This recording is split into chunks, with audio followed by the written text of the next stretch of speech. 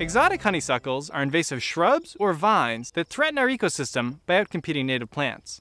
You will find them across a wide range of habitats, including wetlands, fields, woods, roadsides, and lawns.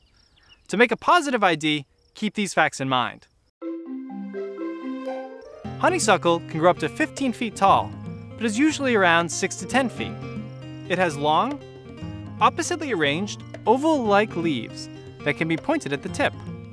May to June, you'll see usually white, but sometimes yellow or pink flowers with five narrow tubular petals.